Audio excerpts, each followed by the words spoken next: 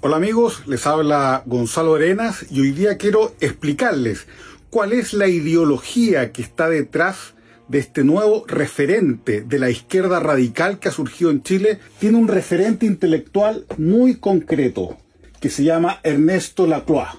Este señor es quien inspira a través de dos libros que son fundamentales toda la ideología del Frente Amplio. Uno se llama Hegemonía y Estrategia Socialista y su otro libro que es La Razón Populista. ¿Qué dice este filósofo argentino que fue, mientras vivía, un gran defensor de los procesos políticos de Venezuela, Ecuador, Argentina, etc. Primero, señala él que es imposible conseguir acuerdos racionales en una democracia liberal.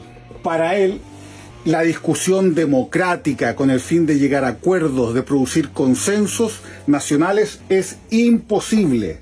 En política solamente se puede conseguir los objetivos que se quieren por el sometimiento del otro. Por lo tanto, como es imposible llegar a acuerdos racionales en política, lo que debe hacer la izquierda es la radicalización de la democracia. ¿Y qué es la radicalización de la democracia? Es aumentar la conflictividad social que existe en ella. Es producir y generar demandas sociales que choquen contra todo sistema establecido. Y para radicalizar la democracia es que se tienen que construir varios sujetos políticos. Y que esta es una de las diferencias fundamentales con el antiguo marxismo y por eso se le llama que este es un filósofo postmarxista. El marxismo clásico se señalaba que solo existía un conflicto social, que era la lucha de clases, y por lo tanto un solo sujeto político, el proletariado. La izquierda radical hoy día niega eso dice que el neoliberalismo ha creado una pluralidad social tal que hoy día las luchas sociales son múltiples y los sujetos políticos también son múltiples. Y por lo tanto, lo que se tiene que hacer para lograr una hegemonía de izquierda socialista es tratar de coordinar esos múltiples conflictos sociales y esos múltiples sujetos políticos en una coherencia política que vaya contra el sistema tres elementos. Ahora, y aquí llegamos al cuarto elemento, a través del populismo, que es la herramienta propia de la izquierda radical.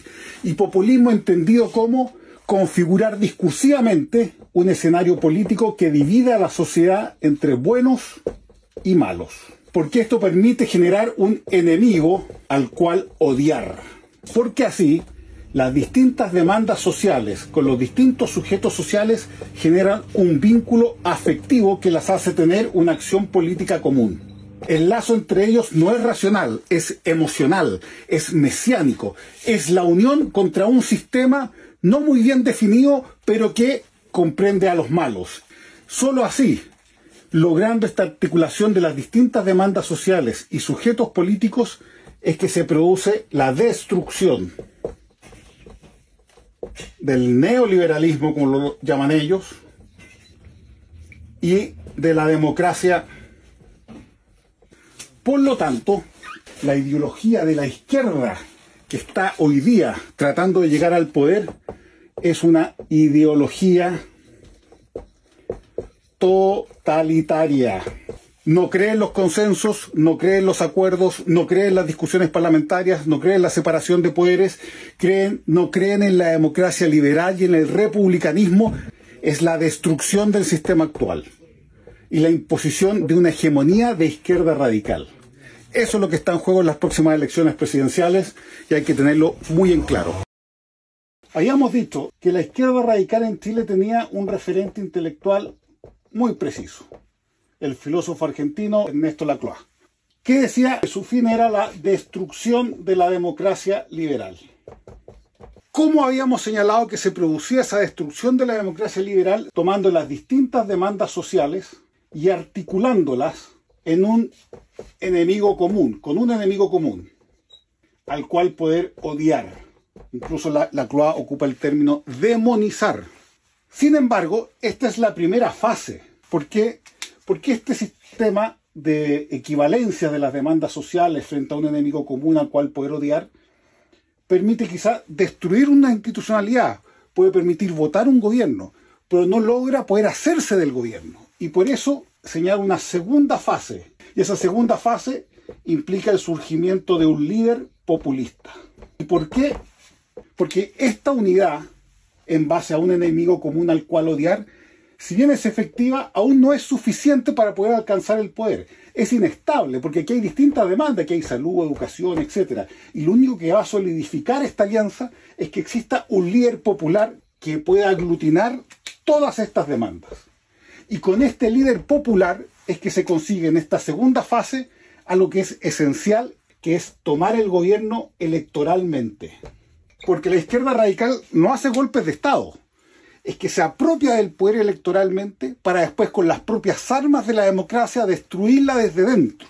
Un ejemplo muy concreto, Venezuela. Es un ejemplo casi de libro de cómo se aplicó la ideología de la izquierda radical. Venezuela hasta 1958 tuvo una dictadura. En 1959 hasta 1989 se recuperó la democracia en Venezuela, que es como nuestro periodo de transición. Este proceso, Venezuela y Chile igual, una dictadura, después de esa dictadura viene una democracia, una democracia de consenso, que ocurrió en 1989, un estallido social gigantesco, que se llamó el Caracazo. Esto es igual a nuestro 18 de octubre. Y después del Caracazo, todos se sumaron a delegitimar la democracia. Y la delegitimaron de tal forma que en 1989, perdón, en 1999 gana las elecciones Hugo Chávez. Hugo Chávez lo primero que hizo en 1999 fue llamar a un plebiscito.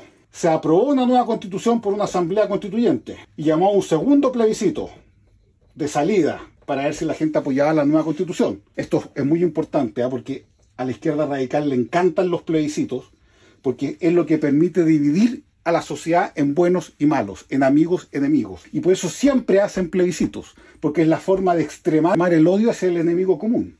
En 1999 se aprobó la constitución venezolana, que una constitución chavista, que tenía una fachada democrática, pero que en el fondo contenía un elemento muy peligroso, que era el mecanismo de las leyes habilitantes es un sistema por el cual el Congreso podía autorizar al presidente de la República a dictar las leyes que quisiera. ¿Qué hizo Chávez?